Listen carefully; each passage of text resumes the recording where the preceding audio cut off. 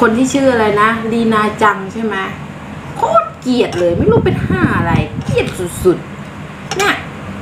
ใหม่ๆนี่เลยสดๆร้อนๆนี่เลยเป็นไปหว่าอะไรนะ คนที่คนไทยที่ไปทำงานที่อิสราเอลที่มีอะไรนะ เอ่อมีตอนนี้หลบกันอะสง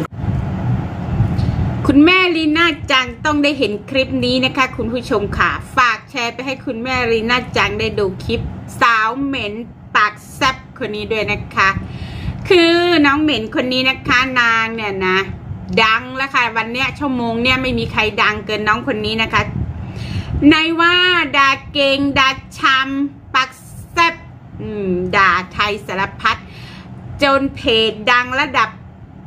อาเซียนมองไทยกรุงเก่าชาวสยามเนี่ยลงมาเล่นเองเลยสำหรับน้องเหม็นคนนี้นะ ได้รับเกียรติเป็นอย่างสูง จากโซเชียลไทยนะดังมากเพราะอะไรเพราะว่า อืม ได้มาด่าคนไทยละค่ะ ในเพจในกลุ่ม เห็นว่าคุณกิมเฮงนะ บอกว่านางเนี่ยส่งโพสต์ของนางเนี่ย มาในกลุ่มนะ กลุ่มของคุณกิมเฮงอะ่ะ หลายกลุ่มเหมือนกันจำชื่อไม่ได้ ขออภัยในความแก่นะ ที่อ่าลืมนะนางส่งมาประมาณว่า อืม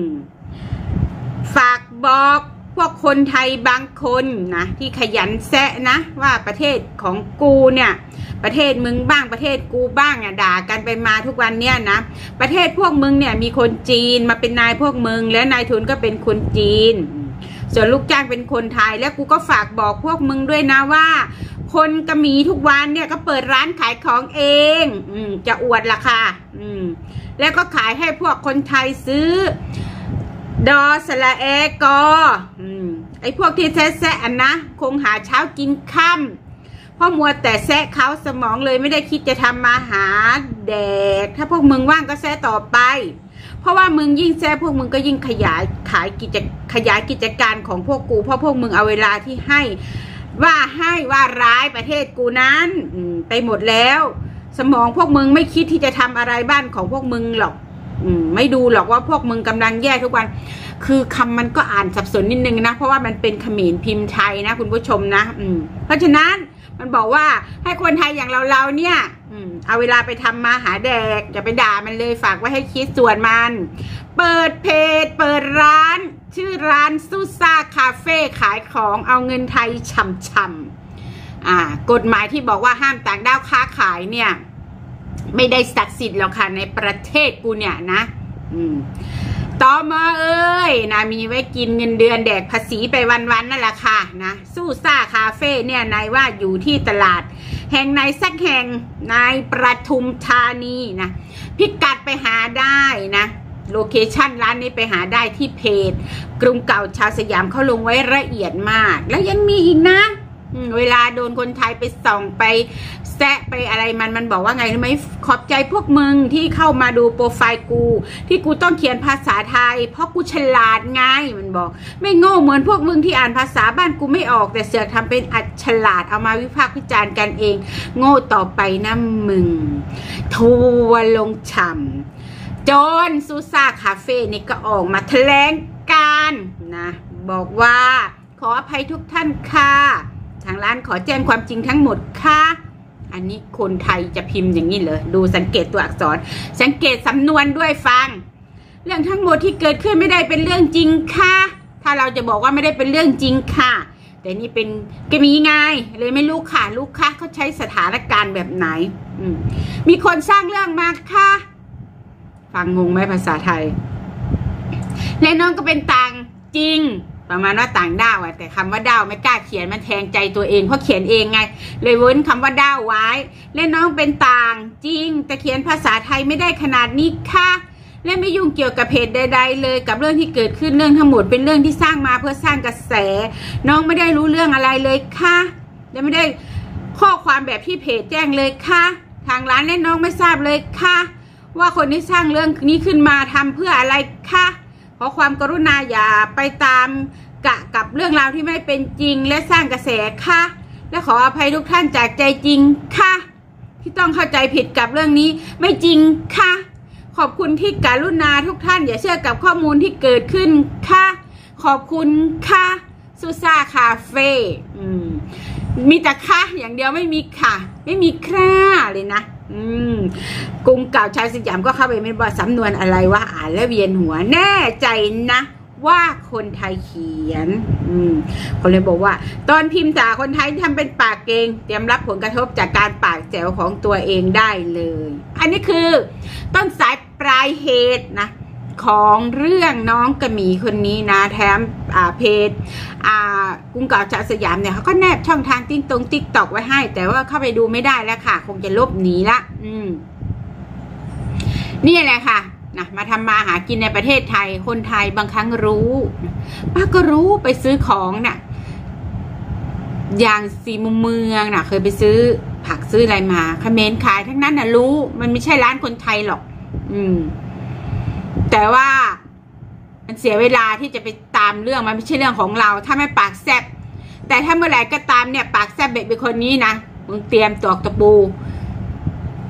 ปิดฝาโลงตัวเองได้เลยทำมาหากินดีๆ เนี่ย อืม มีความสุขมีเงินมีทองไม่ได้นะรักชาติอืมห่มธงกลับบ้านเธออีเมนเอ้ยนะ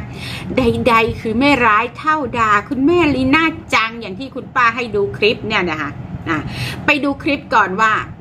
ด่าคุณแม่ลีน่าจังอย่างไรนะอืมอะนี่ดูนะดูว่ามันพูดว่าอย่างไร ให้คุณแม่ลีน่าแล้วเดี๋ยวเรามาคุยกันต่อนะจ๊ะอบอกตรงนะพี่น้อง หนูไม่ใช่คนไทยนะ หนูเป็นคนกัมพูชา หนูว่ามาอยู่เมืองไทยประมาณสิบจะสิบห้าปีแล้วสิบกว่าปีจะสิบห้าปีแล้วบอกตรงหนูเจอแต่คนดีนะ ไม่เคยเจอคนชั่วหรืออะไรเลย เจ้านายก็ดี เพื่อนร่วมงานก็ดีดีไปหมด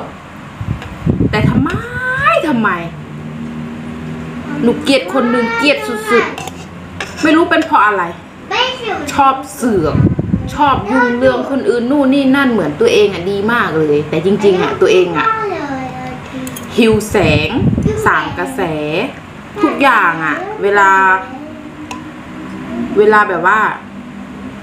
เออเขามีเรื่องอะไรกันอะไรอย่างเงี้ย แกชอบเข้าไปยุ่งมากเลยเกลียดสุดๆ ปากหมา ปากหมาจริงๆ แก่แล้ว แทนที่จะให้ลูกหลาน ใหม่เขาเคารพไม่ใช่ให้เขาด่า เป็นอะไรมากไหมนะบอกชื่อแล้วก็กัน คนที่ชื่ออะไรนะลีนาจังใช่ไหมเกลียดเลยไม่รู้เป็นห้าอะไร เกลียดสุดๆเนี่ยใหม่ๆนี่เลยสดๆร้อนๆนี่เลยไปว่าอะไรนะ คนที่คนไทยที่ไปทำงานที่อิสราเอลที่มีอะไรนะเอ่อมีตอนที่หลบกันอะสงครามอะไรกันอะไปว่าเขาเสือกไปทำงานต่างประเทศ ไม่ศึกษาดูก่อนนี่นู่นนี่นั่นเขากำลังเป็นทุกข์ ตัวเองไปซ้ำเติมเขาอีก ปากอะแล้วก็สมองเนี่ยคิดบ้างไหม ถ้าเป็นลูกหลานคุณนะคุณจะเป็นยังไง คุณจะคิดยังไง เคยจนไหม ปากอะพูดเรื่องดีๆบ้าง ไม่ใช่ว่าด่าคนนู้นคนนี้ไปทั่ว ไม่มองตัวเองเลยแกจะตายอยู่แล้ว ไม่ทำบุญทำบุญเลยนะ ไม่เข้าวัดเข้าวาเลยนะ คนบานชนะ อายุปานเนี้ยเขาเข้าวัดกันหมดแล้ว เขาไปทำบุญที่วัดกันหมดแล้ว ไม่ใช่มาปากหมาไปว่าคนนู้นคนนี้เขาไปทั่ว โอ้นั่นแหละค่ะ คลิปที่มันว่าให้คุณแม่ลีน่าจังนะไม่รู้นานหรือยังแต่ว่าไม่แน่ใจว่าคุณแม่ลีน่าเนี่ยเห็นหรือยังว่าเขาว่าคุณแม่ขนาดนี้นะปากแซบมาแต่ไหนแต่ไรแล้วจะมาบอกว่า ตอนนี้มากรบข่าวแล้วจ้าว่าเฟซตัวเองนั่นโดนแฮกตัวเองไม่เคยไปคิดยุ่งวุ่นวายกับเรื่องแบบนี้เลยเนี่ย สัญชาติกระหมีมันเป็นอย่างนี้แหละกล้าทำไม่กล้ารับพอรักชาติเรื่องรักชาติพุ่งพ่าน อืม พอรักชาติแล้วจะต้องโดนอัปเปหีออกจากเมืองไทยเพราะคนไทยนะอืมอย่างที่เรารู้รู้ๆกัน ต่อให้เราจะเล่นกีฬาสามสีสามฝ่ายอย่างไรก็แล้ว แต่เมื่อไหร่ก็ตามที่มีต่างด้าวมาด่าคนไทยเหมารวมแบบนี้นะไอ้สามสีที่ว่าเนี่ยส้มเหลืองแดงเนี่ยนะจะรวมพลังหยุมจกตาพวกมึงกับ อย่างชนิดที่ว่า แผ่นดินไทยไม่ได้กรบหน้ามึงก็แล้วกัน เตรียมตอกตะปู ปิดฝาโลงตอกตะปูกลับบ้านไปทำมาหาแดกที่เขมรเถอะนะดาไทยสารพัดนะเปิดร้านไทยเป็นร้านน้ำปั่นขายอยู่ที่ตลาดแห่งหนึ่งในปทุมธานีตอมอบ้านกูไม่มีหรอกค่ะ อืมนะจะมีก็แต่ไปจับไอ้พวกอะไรอะวิ่งไล่ต่างด้าวตามไซต์งานก่อสร้าง เพราะว่า มันได้เงินดีไงจากพวกที่ว่าเป็นเจ้าของผู้รับเหมาอะน่ะ อืม เขาพร้อมจะเคลียร์แต่อีนี่ก็พร้อมคงพร้อมจะเคลียร์แหละชี้เป้านะนะแถวปทุมธานีถ้าอยากได้ พิกัดแน่นอนก็ไปนะนะ คุณตอมอนะเขามี location ให้ที่เพจกรุงเก่าชาวสยามเนี่ยไปไปดูได้เลย อืม ทีนี้เรามาดูคอมเมนต์คนไทยมั่งนะ ว่าหลังจากที่เห็นคลิปเห็นคอมเมนต์นะของน้องกระหมีคนนี้นะทั้งเพจอาเซียนมองไทยกรุงเก่าชาวสยามกรุงเทพวันนี้นะสยามดราม่าแอดดิกกับพร้อมใจกันละค่ะ ขุดหลุมฝังให้น้องคนนี้นะ แต่ไม่ได้ให้ฝังในประเทศไทยนะคะ ขุดหลุมรอถีบลงที่หลุมที่กัมพูชานะ อืม เตรียมตัว ปิดเพจเรียบร้อยนะอืมไม่วายผัวยังมาอ้างว่า เฟซเมียเอยโดนแฮกนู่นนี่นั่น อ่า มาดู คอมเมนต์มั่งสักหนึ่งคอมเมนต์สองคอมเมนต์ว่าคนไทยเนี่ย คิดเห็นเป็นอย่างไรเมื่อเขมรสาวคนสวยปักแซบทำมาหากินแล้วมาด่าคนไทยเนี่ย อ่า คนบอกว่า อ่า ร้านจะเจ๊งไหม อืม คนนี้บอกว่ามันไม่รู้แหละว่าไทยนี่รักสงบ แต่ถึงลบไม่ขาดนะเว้ยเฮ้ย คนไทยไม่เคยทำร้ายใครก่อน ดีใจหายร้ายไม่เผาผีเลยนะ ใช่ นี่คือคนไทยนิสัยคนไทยจริง ๆ ดีก็ดีใจหายถ้าร้ายก็มึงเอ้ยนะ ไม่ได้ผุดไม่ได้เกิด ไม่ว่าจะอะไรก็แล้วแต่นะถึงยังไงอย่างที่คุณป้าบอกว่าไทยเองนั้นแม้จะหยุมหัวโจกตากันอยู่สามฝ่ายก็ไม่เป็นไร เมื่อไหร่ก็ตามที่มีศัตรูต่างพันต่างเมืองเข้ามา ลุกดานในทั้งความคิดหรือก็แล้มเป็นจริงนะคนไทยพร้อมจะรวมมือกัน ปกปักรักษา กู้เกียรติยศศักดิ์ศรีความเป็นไทยมมึงจงรู้ไว้ ไทยเนี่ยคือประเทศเดียวนะในอาเซียนเนี่ยที่ไม่เคย เสียเอกราชให้ใครไม่เคยเป็นเมืองขึ้นของใคร เสียจริงในสมัยอยุธยาให้กับ อะไรอะ พระมารามัน ก็ไม่ได้ว่าไม่ไม่เคย แต่พูดถึงเรื่องอาณานิคม ยุคล่าอาณานิคมเนี่ยนะไทยเนี่ยหนึ่งเดียว ที่ไม่เคยตกเป็นอาณานิคมของประเทศตะวันตก อืม เราจึงมีความภาคภูมิใจ อาจจะมีแหละบางคนไม่ภาคภูมิใจ อืมกระเรื่องของเขามันเป็นสิทธิเสรีภาพของคนคนไทยคนนั้นนะอืมควรคนที่จะภาคภูมิใจ ในการที่ไม่เคยตกเมืองเป็นเมืองขึ้นของชาติตะวันตก ก็เป็นเสรีภาพที่จะภูมิใจของป้าเหมือนกัน อืม แต่ส่วน อีข้างบ้านทางสามนาฬิกาแล้วนะคะ เสียมันหมดแหละค่ะ เอกราชให้กับไม่ว่าจะวันตะวันออกตะวันตกเนี่ยอยู่ ใต้ครีตรีนของไทยมาตั้งเกือบ 400 ปีแล้วมั้งอืมเพิ่งจะได้เอกราชก็เพราะว่าไทยจำยอมยกให้ฝรั่งเศสไปและไทยประเทศฝรั่งเศสก็เพิ่งจะคืนความเป็นชาติเอกราชให้ก็เมื่อสักประมาณ 5-6 ปีที่ผ่านมาเสร็จแล้วก็รบราค่าฟันกันเอง เกิดเป็นเขมรสามฝ่าย เพิ่งจะมาฟื้นฟูได้ก็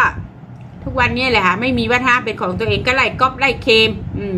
ทำมาหากินบนพื้นแผ่นดินไทยวันดีคืนดีก็ลุกขึ้นมาด่าเจ้าของประเทศขุดหลุมฝังตัวเอง คุณผู้ชมคิดเห็นเป็นอย่างไรคลิปนี้ยาวเกินไป ขอบพระคุณคุณผู้ชมที่รับชมนะคะสำหรับคลิปนี้ จบเรียงเพียงเท่านี้และพบกันใหม่ สวัสดีค่ะ